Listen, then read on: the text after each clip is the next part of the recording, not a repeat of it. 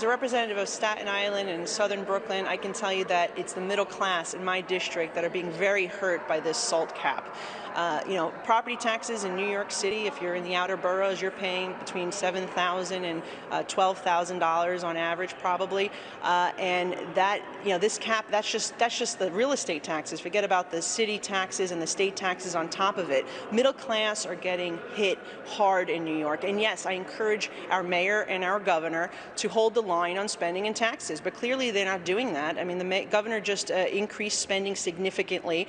New York State is spending just as much as the state of California, nearly just as much, yet they have twice as many residents. Uh, in New York City, the property taxes have gone up well over 50% since this, since, this mayor has been in office, and it's the middle class that's being hurt, and they're dr being driven out of the state as well. So I understand some of the concerns that my colleagues have, but for my district, this is incredibly important, and it's what I can do as a federal legislator to try to provide some relief.